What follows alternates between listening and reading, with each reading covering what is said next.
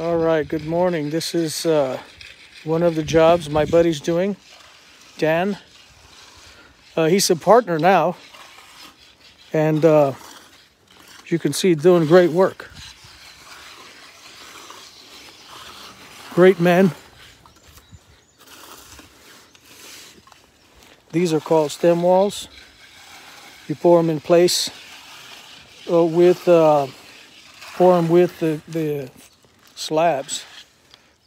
So they had to go all the way out into the street to the main drain, main sewer line. And they inlaid the shower where they made it lower so that way uh, they could just put tile on it and it you don't have to do no more thin set or anything else.